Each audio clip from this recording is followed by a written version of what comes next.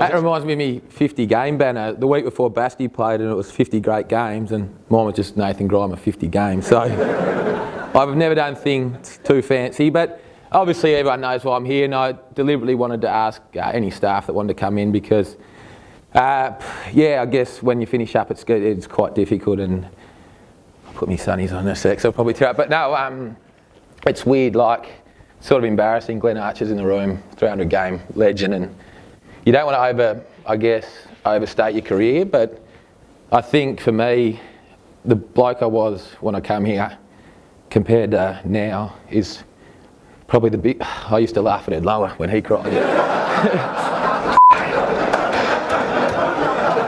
um, so I'll put these on for a second. No, but the guy I was eight years ago, um, I often say that the, I didn't let football change me, but oh, if I know where I'd be without it. So that's probably the hard part. Um, everyone in here has probably um, had a big impact on my life, so thank you. I was going to invite Jacinta in, but um, she's my family now, and I guess for eight years this joint has been. I ducked off over to Adelaide and um, I played in the premiership there and um, do yourself a favour boys and, and play one of them because that's singularly handily the best day of my life by a mile. Um, irrespective of what's happened here. But we're on a, a bit of a party for about four days after, and uh, I get a phone call from Neville Stibbard, and um, I guess at the time, yeah, as you do, I thought it was one of the boys stitching me up, so I pretty much told Nev, F off Nev, I'm partying, and uh, the club called me and said you might want to ring him back, and, and just, um, you know, I couldn't believe what was happening. My dream since I was a kid was to play AFL. I was 22 um, and didn't think I'd ever be good enough. And uh, I just still can't believe Neville. And I guess I think Bryce had just come on board there. I don't know if I did any background searches back then, but um, yeah, I ended up here, and it's just been it's just been the best eight years. Um, it didn't start well. I did my knee in the first couple of weeks, and I'll never forget Drewy come out of his way with Nicole and come and sat with me in hospital.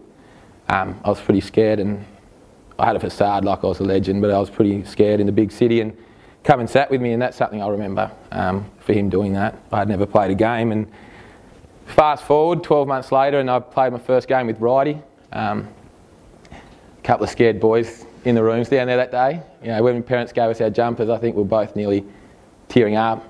It was um, different journeys. You're a young kid, and I just think that like, those are the moments that you'll probably miss. And uh, one thing I always loved about Lades, he was hard, but he was really fair. At the end of the year, we used to do our skinfolds, which you do now. I went in and um, and Dean got the book, and I think I was, my best for the year with PB was 45, and I got a lenience of 55. And and late as he did, I don't remember, remember the boys. he used to be that dramatic when he was drawing on the board, and that just pretty much like start swiping it out like there no paper left, and it was like, mate, if you don't come back under your PB, you won't be here next year. And I was just went and got a bit of cartilage taken out of my knee, um, I didn't eat for about the next six weeks, and I come back and they were under, and they put me on the senior list. So it was um, it was definitely worth it. I just look around at everyone, and it's weird. Like I was saying to Brad that when I lost H, and I didn't lose H, he's still alive. Sorry. when I lost my teammates from this particular club, as H, Keys, um, Levi, you think it's going to be easy to leave, but it just shows you that it's not the, your mates because they're going to be there forever. It's, it's probably guys, and you know who you are, that, that, I'll, that I'll miss the most. Um, I think of funnier fun times, like, and I'm sure young players do it, when you get your first drink cards at CQ. strutting up those stairs, boys. I was on the rookie list. I would never leave H's side because I knew everyone knew who he was. And if I stood on my tippy toes, chicks thought I played as well. So uh, progressed to a Holden Astra. That's my sister's old one, and I remember I was playing at the Etihad one day, and there's this beautiful Mercedes ML forward drive in front of me, and as I'm pulling in, I sort of glance and realise it's Nick Riewoldt, and um, I'm playing on him that day. I'm thinking, if he sees me in this car.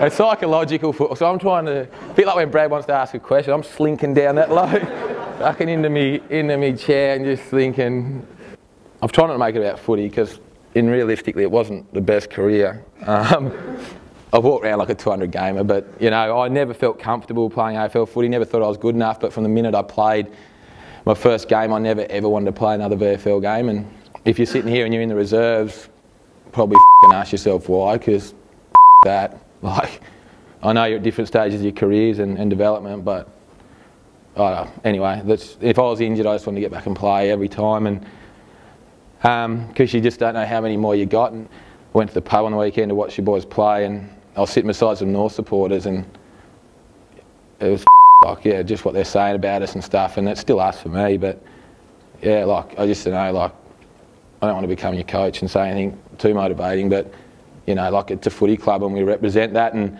like I said, playing at Central Districts was the best day of my life, and I still talk to five or six of those boys weekly that I played in the premiership with. And um, you know, it's just a footy club at the end of the day. Like we're not anything more than that, and just probably harden up a little bit and, and take some real care in while we're here.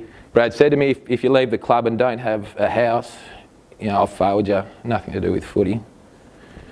I've got a pool, six bedrooms, and.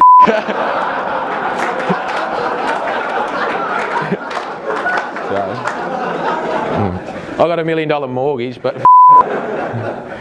probably Goldie's the only one that could afford it. But um, you can't park a Rav4 in that driveway. but um, just uh, enjoy all your.